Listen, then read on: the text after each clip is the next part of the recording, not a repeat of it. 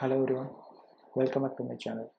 So in this video we are going to talk about uh, static feature control. So this is my application. Okay. So uh, if I try to create a new instance, okay, what are the mandatory fields I need to give? Nothing. That is something called order ID, which is it denotes it's mandatory. Let's check that is mandatory or not.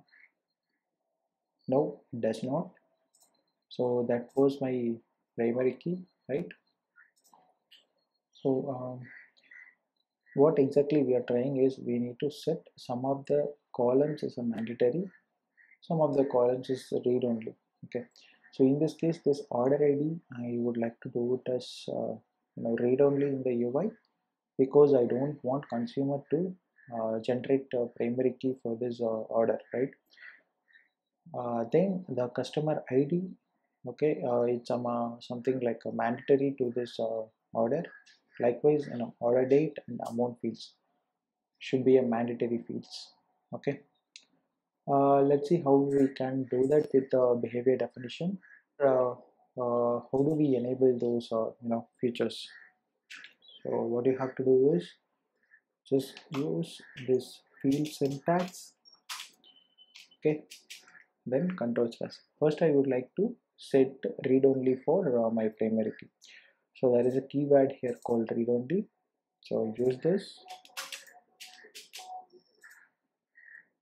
so here I can provide uh, my primary key which is ID okay so you activate this. Okay let's go back and quickly test the order ID I'll do a create again. Okay. So now it looks fine right? And I set the read only. Then my order ID primary key uh, will become read only in the UI okay. So do for mandatory fields. So same thing. Field. You give them your mandatory create keyword okay? So what are the fields i need to include? First is amount. Then customer id then order date okay? With this. So what what basically the RAP framework uh, you know, takes is like uh, by this mandatory create. So it will check for while creating instance will check for this uh, columns amount customer id and order date whether it has values or not. If it does not has values then simply it will raise error message. Okay? So i have not done any you know uh, validation part here to checking uh, you know whether the user post amount or customer id already. Everything will be taken care by framework here. Okay? Let's quickly go back and test again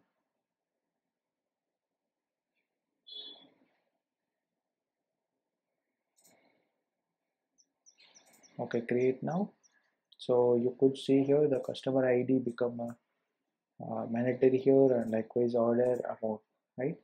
So let's say like um, uh, I okay let's try to create it now. So it says enter a value for the UUID field okay?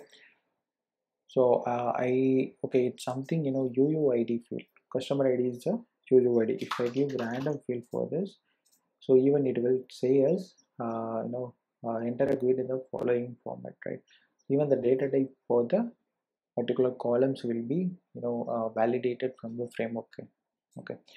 So I don't have any uh, uh, customer ID number. Maybe I'll check it back in with uh, some of other instance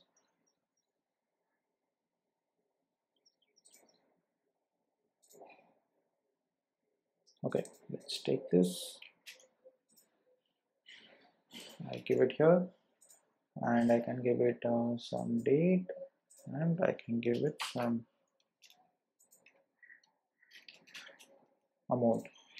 So when I try to create now see uh, our values get uh, you know uh, populated now right? So yeah. So it's uh, with this static feature uh, control we can uh, control the columns of you know the UI basically. So if you like the video please do thumbs up and subscribe for uh, more videos. Thank you for watching. Have a great day